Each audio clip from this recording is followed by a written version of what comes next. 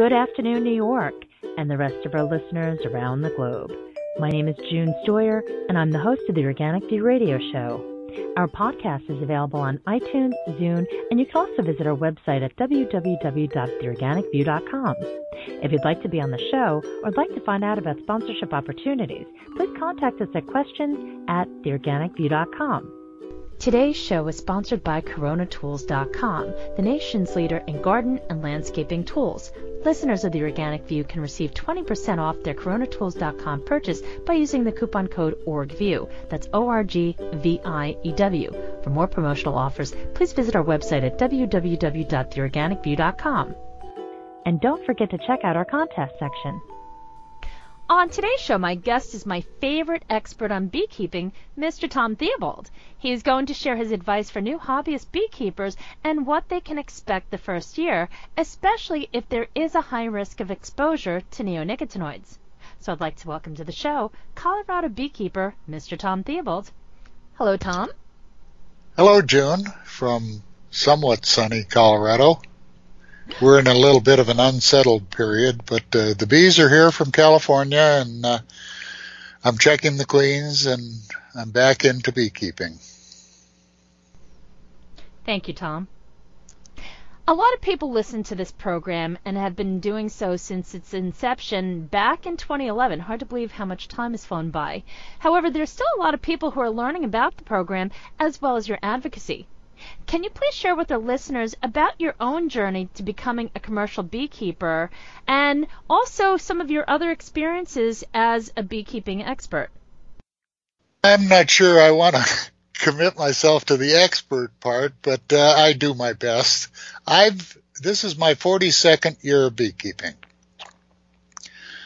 I started after 10 years in the corporate world and I did not like being inside and uh, I stumbled into beekeeping, and beekeeping turned out to be a very good match for my interests in life. Outdoors, independent, working with a natural system. And uh, I had, uh, oh, 20 or 25 really good years when, in effect, I, from the standpoint of beekeeping, I farmed the county. I had uh, as many as 12 different bee yards. At my peak, I had 200 colonies of bees. About 10 years into the beekeeping, I started doing what is called double queening, where I established a second queen in the colony and produced a very high performance, highly productive colony and uh, referred to myself as a community beekeeper. I operated within about 15 miles of home and and supplied primarily a local market, and it was a substantial part of our family income. I also was uh, the last of the county bee inspectors at that time. That position was created in about 1891, and I was the last, and it was retired in the year 2000. I uh, was one of the founders of the Boulder County Beekeepers Association. At one time, I was the vice president of the State Beekeepers Association, and uh, I was involved in, in most of what beekeeping requires. Pesticides have always been a concern, and more recently, an even greater concern. And we'll talk about that a little bit because beginning beekeepers uh, are confronting those problems as well. Thank you, Tom.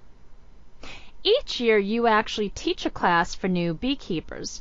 Can you share with our listeners what are the goals of this class? We started this class I think 18 years ago. And I thought at the time we would teach it for two or three years and then we would have satisfied the demand, the interest. But as it's turned out, and with the influx of new beekeepers, we have continued continuously for 18 years and and now we have two classes a year and it's eight weeks and what we try to do is we try to give beginning beekeepers the basis, the basic understanding that they need to be a beekeeper, to take care of a colony of bees. And uh, we've turned out several hundred new beekeepers. Now, not all of them are still beekeepers today, but We've kept the beekeeping community alive here in Boulder County, not just us, but we've contributed to that, and that's that's the purpose of the beekeeping class. What are some of the significant changes that have taken place since you first began teaching hobbyists until now? We began uh, the beekeeping class when we really hadn't begun to confront the problems that the parasitic mites, the varroa mites, presented. And the pesticide challenges were challenges that we had dealt with for, well, ever since the Second World War. And what's happened more recently is the introduction of the family of pesticides called neonicotinoids.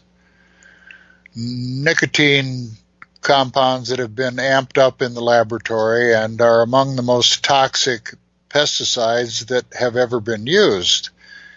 That's that's a major change, and uh, it's something that the new beekeepers are subjected to. All of the beekeepers are subjected to it, and it's had a devastating effect on American beekeeping. Neonicotinoid pesticides have become the most widely used insecticides in the world. This isn't simply our view, it is indeed a fact. Be that as it may, how can new beekeepers prepare for exposure if this is indeed even possible? Also, what should they be aware of as far as choosing a location for their bees? That's a good question, and uh, you've kind of answered it yourself. I don't know how the new beekeepers or the older beekeepers are going to be able to avoid this family of pesticides. And these are not the only pesticides that we're exposed to. There are many others, but I think a major player in the losses that we've seen has been the neonicotinoid family. And even the people who are knowledgeable have failed to grasp the enormity of this environmental poisoning.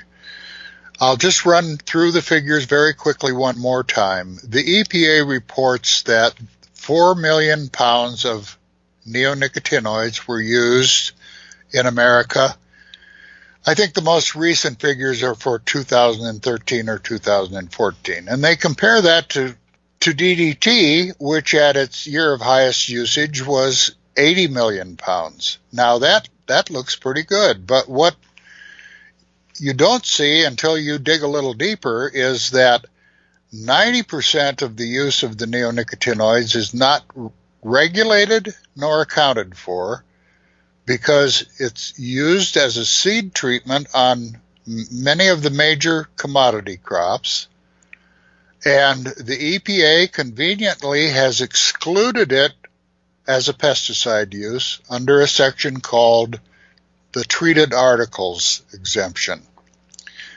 So the the fiction is that the seed coating is there only to protect the seed, but it's not. And the chemical companies market their product on the basis that it will deter insects that chew or suck on the plant far beyond the seedling stage. And if we look at the figures, the EPA reports 4 million pounds. Add that 90% that goes unaccounted for to that. Multiply by the fact that the neonicotinoids are 5 to 10,000 times more toxic than DDT. And what you get is the astounding result that what we're doing every year is we're putting into the environment the toxic equivalent of somewhere between 400 billion and 600 billion pounds of DDT. It's in the water. It's in the soil. It's everywhere that we've looked. So can hobbyist beekeepers avoid this? I don't know how. It's used extensively. The neonicotinoids are used extensively in agriculture and in urban and suburban environments. I don't know how we avoid these chemicals. I just want to take a moment to address the fact that in addition to honeybees, there are other populations of pollinators that are drastically reduced because of neonicotinoid exposure. Tom, I know you wanted to address the subject of the natural predators. So could you talk about some of the issues that hobbyists should be concerned about as it pertains to some of these natural predators, such as the wasps, yellow jackets, so on and so forth.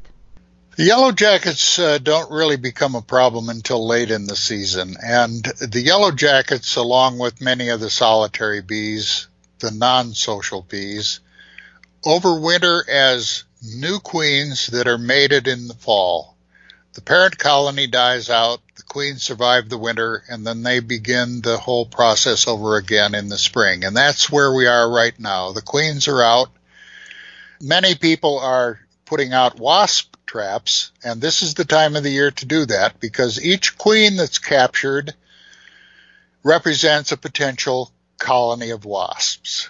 But not all those queens are going to be captured, and some of those queens are going to establish colonies. And although it's a hard sell to most people, the wasps are a beneficial insect.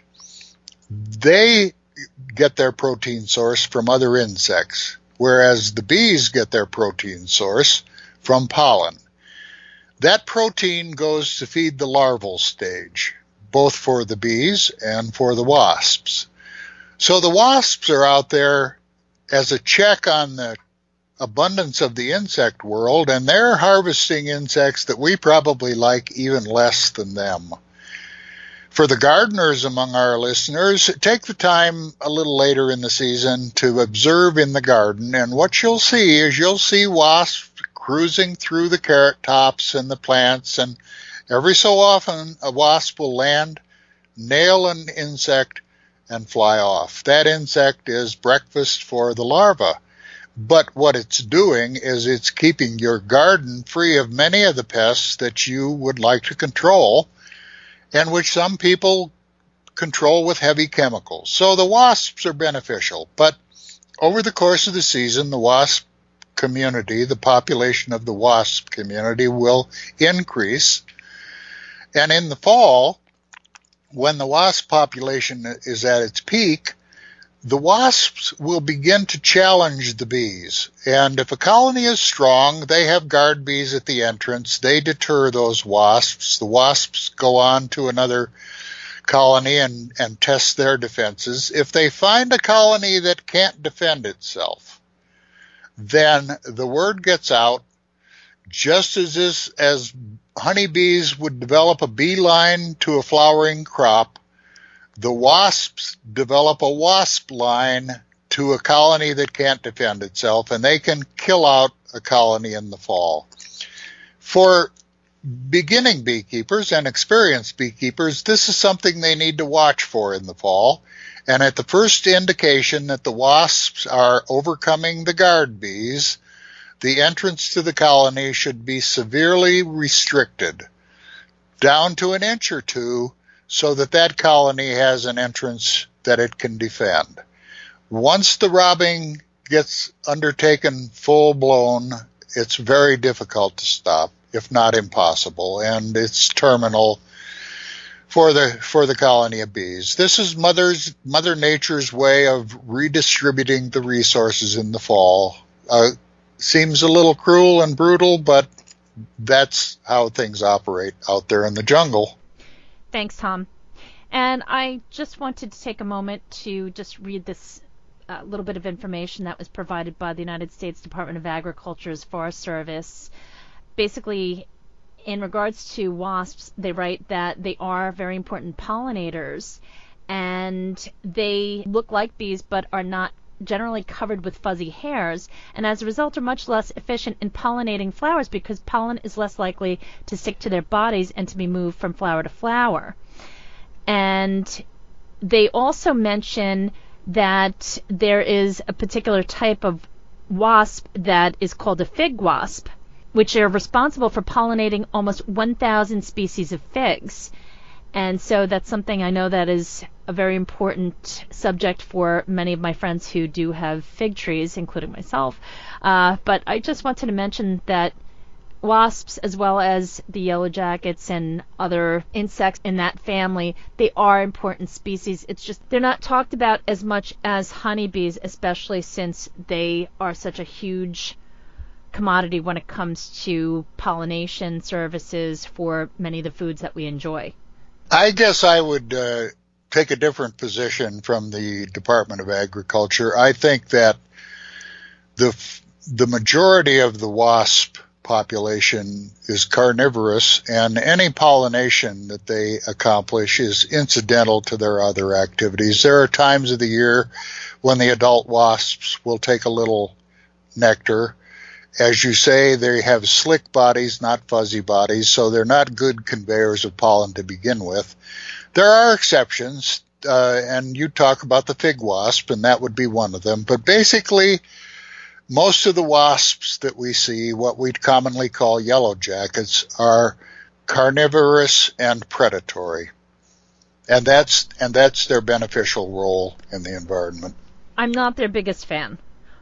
I made a grave mistake several years back trying to fill a hole that was in my yard all the way in the back, and I tried to fill it with um, some natural cat litter. I don't know what I was thinking, and there was a yellow jacket's nest in there. And of course, I was out there with flip flops on, shorts, and a tank top. And the yellow jackets flew up, and I guess they must have called their family and friends because they came after me. And I was stung five times. And let me tell you, that was pretty painful and hurt for several days thereafter. But uh, I know many people that have had similar stories. Well, the wasp doesn't have a barbed stinger. For a honeybee, a sting is a life ending decision. A wasp, on the other hand, can just tattoo you, can sting you multiple times and, and doesn't take much tampering, will react more quickly than a honeybee would because they have less invested in that defense. And, uh, they're a little more difficult to deal with, but even with the wasps, if they're away from their nest and they're out foraging, they really are pretty well behaved. Tom, I always see a lot of comments from newbies claiming that they're not having any problems with their bees and they can't understand why the commercial beekeepers are experiencing such high losses. Can you please explain to our listeners, from a commercial beekeeper's perspective, what are the contributing factors that make these losses happen? Well, we've talked about some of them, and I think uh, one of the major players is the neonicotinoid family and uh, and other pesticides. Um, I hear about these hobbyists who are so successful. I don't know where they are. Uh, I look at the hobbyist population here in our county, and their losses have been on the order of this past winter of 80%. So I don't know where these successful hobbyist beekeepers are. I think in part they they have different standards. When I was producing a honey crop in support of the business and the family, I double queened and an average beekeeper, average colony, single queen colony here in this county would produce about 75 pounds of honey, surplus honey each year. With a two queen colony, I expected over 200 pounds per colony. And uh, for the hobbyists, uh, they don't have that reference point. They think if they get a gallon or two of honey from a colony, that's been a bumper crop. Well, it hasn't been a bumper crop, and they may not be doing nearly as well as they think they are. And my personal experience is their losses are as high or higher than the commercial beekeepers. Thanks, Tom. Well, we have reached the end of our segment today. I want to say thank you so much for all of your time and for addressing these very issues. I know we receive a number of emails and messages about these very topics that we talked about today. So, Tom, thank you so much for joining me today. I would uh, just like to say welcome to the hummingbirds we got our first hummingbird yesterday. I've been watching them through the tracking system on the internet, watching them move up from the south. And the front of the hummingbirds has just passed through our area. None in Wyoming yet, but that will be next. And I'm sure people in other parts of the country are watching them just as I have. I put the feeder out about a week ago and I've been watching every day. And finally, yesterday, the first of the hummingbirds showed up, and I enjoy watching them all through the summer. So that's a a, a very pleasant springtime event. I'd like to thank you, June, for having this program and for all of our listeners who keep tuning in and commenting. And we encourage their comments and we try to answer their questions. What we're saying is important, and and I and I'm happy to have the listeners tuning in. Well, thank you so much, folks, for tuning in. Tune in next week as Tom and I continue the discussion. This has been June Stoyer with the Organic View Radio Show. Have a great afternoon.